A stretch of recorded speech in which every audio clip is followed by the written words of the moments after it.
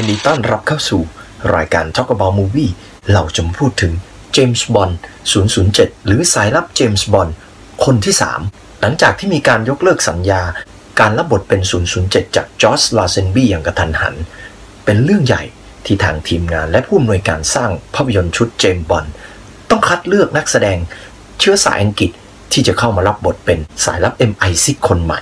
และบทสายลับ MI6 คนใหม่ ก็ตกเป็นของโรเจอร์มัวร์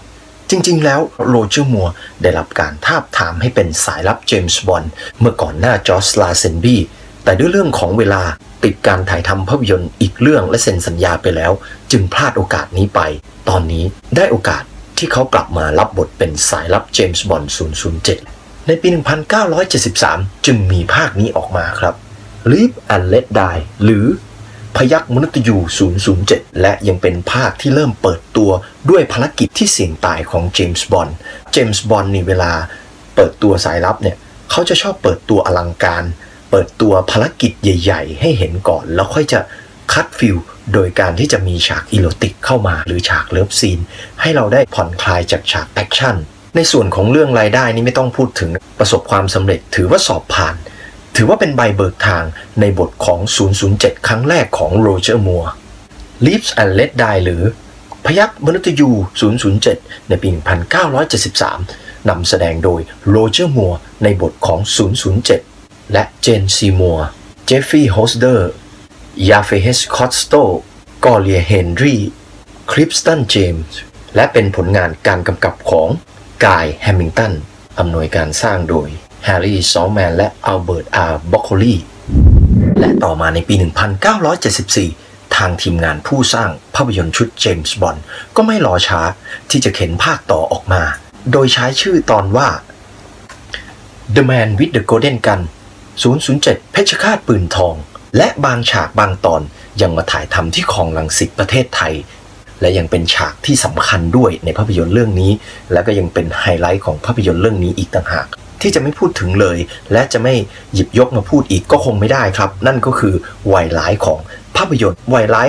ของภาพยนตร์เจมส์บอนด์มักจะมีหน้าตาประหลาดประหลาดบุคลิกประหลาดประหลาด บางทีก็สูงผิดมนุษย์ บางทีเตี้ยก็เตี้ยจนผิดมนุษย์วัยร้ายในเจมส์บอนด์นี่ถือว่าแปลกประหลาด ไม่ต่างกันกับหนังซูเปอร์ฮีโร่อะไรอย่างนี้ และต้องบอกเลยว่าโรเจอร์มัวร์เขาดังระเบิดมากในบทของ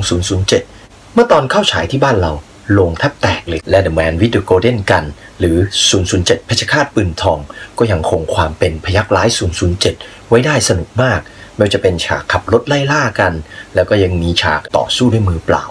แล้วก็รวมไปถึงฉากต่างๆ ฉากระเบิดภูเขาเผากระท่อม และต้องย้ำอีกครั้งว่าภาคนี้ ได้มาถ่ายทำในบ้านเราด้วย อย่าลืมหามาชมกันสำหรับ The Man with the Golden Gun หรือ 007 เพชฌฆาตปืนทองนำแสดงโดยโรเจอร์มัวร์ในบทของ 007บริตต์เอ็คแลนด์ คริสโตเฟอร์ลีม็อดอดัมส์กำกับการแสดงโดยกายแฮมิลตันต่อมาในปี 1977 เราก็จะได้พบกับ 007 พยัคฆ์ร้ายสุดที่รักหรือ The Spy Who Loved Me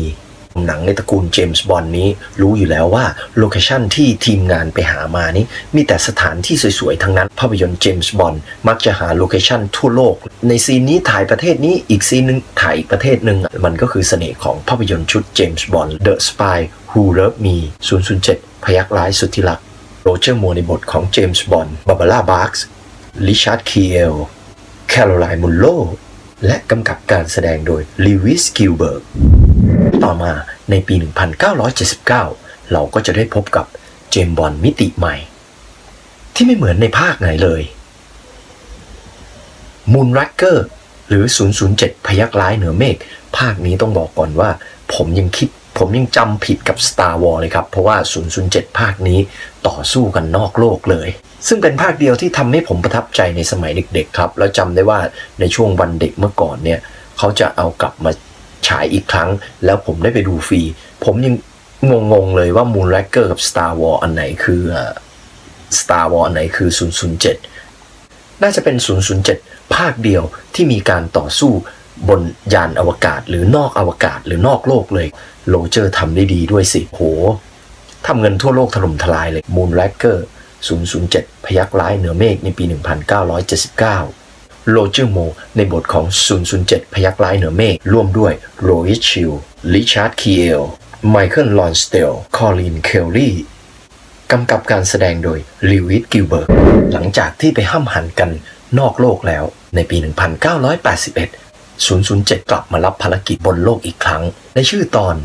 For Your Eye Only หรือชื่อไทย 007 เจาะดวงตาเพชฌฆาต ฉากเปิดตัว ต้องระเบิดภูเขาเผากระท่อม ถึงจะเป็น 007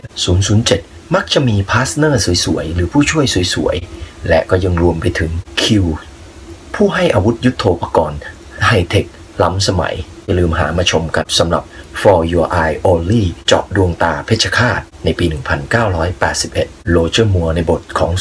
007 ร่วมด้วยแครอล บูเกต์ ลินน์ ฮอลลี่ จอห์นสัน จูเลียน โกลเวอร์ ลอยส์ แม็กซ์เวลล์ ในบทของมิสมันนี่เพนนีกำกับการแสดงโดยจอห์นเกลนในปี 1983 เราก็จะได้พบกับนางพญาพันมือ หรือนางพญาปลาหมึกพันมือ ในตอน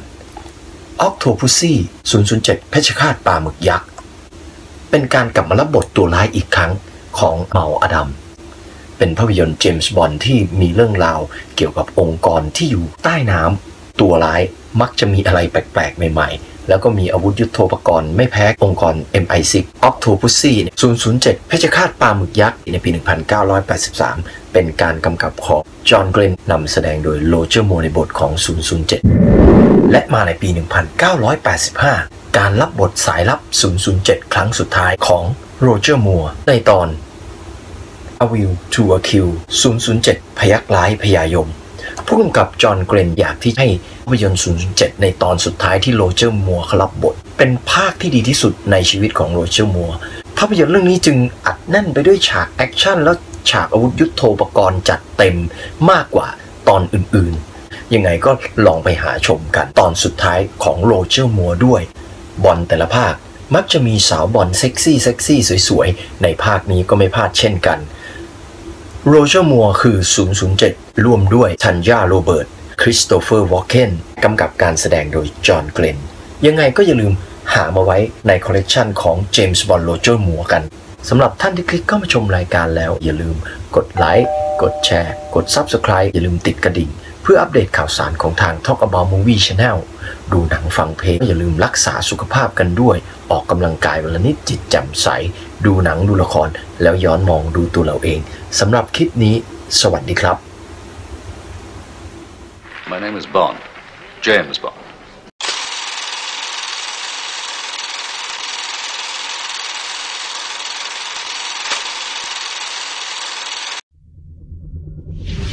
Talk about movie by Samuel.